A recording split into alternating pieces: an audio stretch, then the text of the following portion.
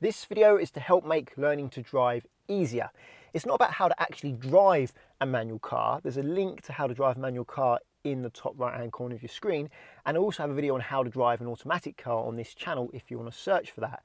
But this video is to help make learning to drive easier, less stressful and more productive.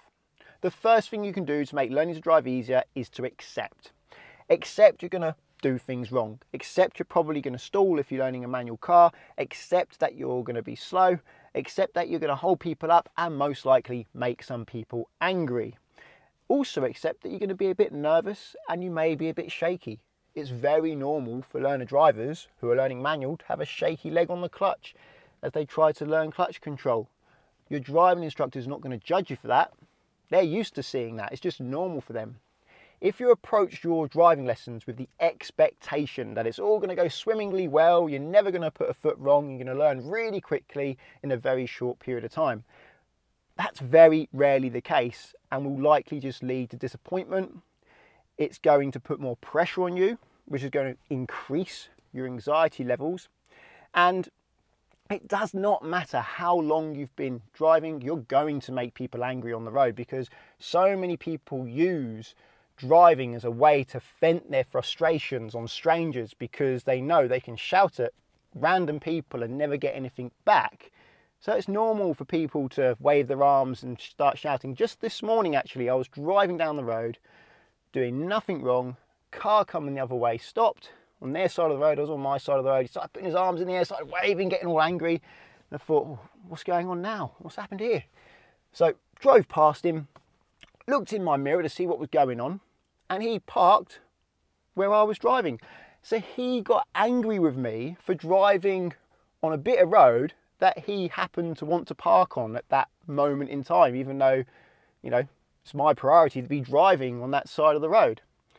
Doesn't matter how long you've been driving, people are going to get angry with you. So accept it and not care about it. Many learner drivers make the mistake of trying to over control the car. They're really firm with their grip on the steering wheel and they feel they've got to be on the pedals all the time or something drastic is going to happen. But in fact, I'm going to come off both the pedals now in third gear and not a lot's happening. It's staying fairly stable. It's slowing down gradually and it's going to get to the bottom of the gear, which in this car is about 11 miles an hour in third, and then pull me along. And if your car doesn't pull you along, it won't just suddenly conk out. It will struggle a bit and give you a bit of warning. So I'm going to use the gas to carry on. And I don't need to have a death grip on the steering wheel. I can let go of the wheel and the car's going in a straight line. I don't recommend you let go of the wheel, but all I'm saying is, is you don't have to be always controlling everything the car does. Let the car do most of the work and just guide it. So you've got to be a bit more of a shepherd. You guide the car, you let the car do most of the work and put small inputs, gentle inputs to make sure you go where you want to go. I highly recommend that you listen to your driving instructor and try your best to use the methods that they are teaching you. Different driving instructors have different ways of teaching what is essentially the same thing, and that is to learn to drive and pass your driving test. But if your driving instructor is trying to teach you method A, but you're insisting on trying to do method B, your instructor and yourself aren't going to be cooperating and working together, and your instructor is not very likely to move you on until you achieve the method they're trying to teach you. For example, some instructors hate dry steering, others accept it. If your driving instructor doesn't want you doing dry steering, try not to do dry steering. However, if you really don't trust your driving instructor's methods Instead of continuing with the same instructor and trying to get them to accept your own methods, just change instructor until you find an instructor who teaches you the way you want to be taught. Also, if you have an instructor who's pushing you too hard, kind of like this, Mr. Turner the learner, must you drive so slowly? But whenever I go faster, I start weaving from left to right. I need more practice at this lower speed to get used to it. Oh, steer properly then. Stop diddy daddling. Come on. Chop, chop. Or if you feel they're holding you back, again, it's best to change instructor instead of trying to change the way your instructor teaches you. It's better to be slow when you start learning, and that's because learning to drive is a skill. And the best way to learn a skill is to do it slowly but well to begin with and let practice and experience bring speed.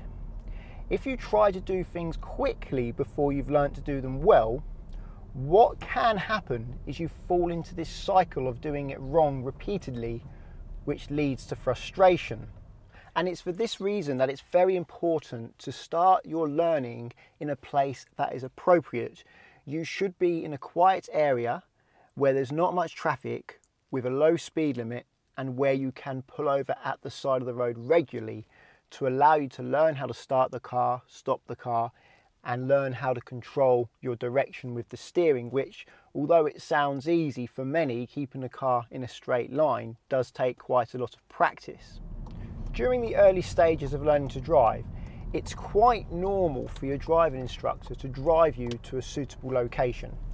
Now, you may think this is a waste of your time and your money towards your driving lesson, but on the contrary, it's not. It's good use of your time because you're going to get much better use out of the time you spend in this location, which is suitable for learning to drive, than driving wherever you happen to live, which may be not only completely unsuitable, but also unsafe. A good tip, if you want to save money, is to meet your driving instructor in the location where you're going to be learning.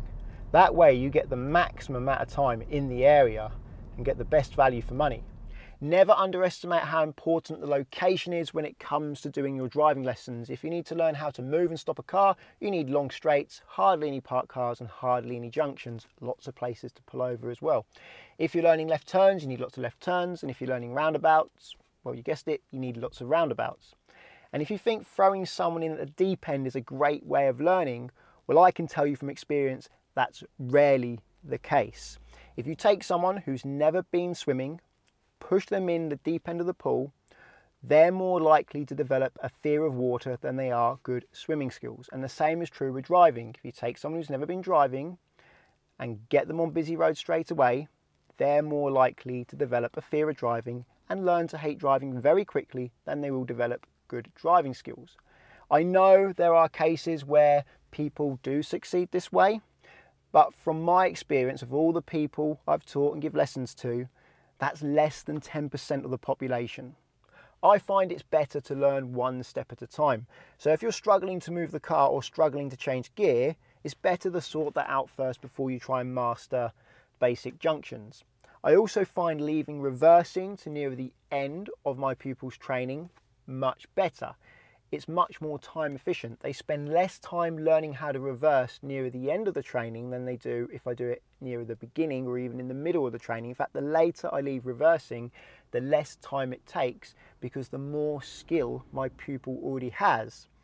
If you're trying to teach someone to reverse near the beginning of the training, not only are they trying to learn how to use the mirrors and the steering to guide the car where they need to go and where they need to look, they're also trying to learn the pedals as well and that's quite difficult for a new driver. If I do reversing near the end, another positive is at the beginning of their training, we can solely focus on how to drive the car and how to use the road. So it accelerates progress in both areas. Well, if you think this video helps, please give it a thumbs up and check out Collingwood and Confused in the description. If you want to insure yourself on a friend or family member's car, you can do so with Collingwood and it won't affect their policy it won't risk their no claims bonus and it will take away some of the stress of someone supervising you to learn to drive in their car.